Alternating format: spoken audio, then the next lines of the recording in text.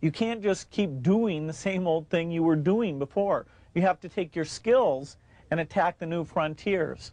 Uh, for example, graphical interface used to be outside the operating system, and so there were many people doing those systems.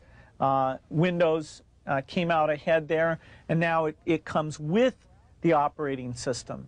Uh, likewise, the, the browser is something that Netscape looked at turning the browser into an operating system, and we looked at taking our operating system and, and building the browser in an integrated fashion. And so that was a good example of the kind of competition that spurs the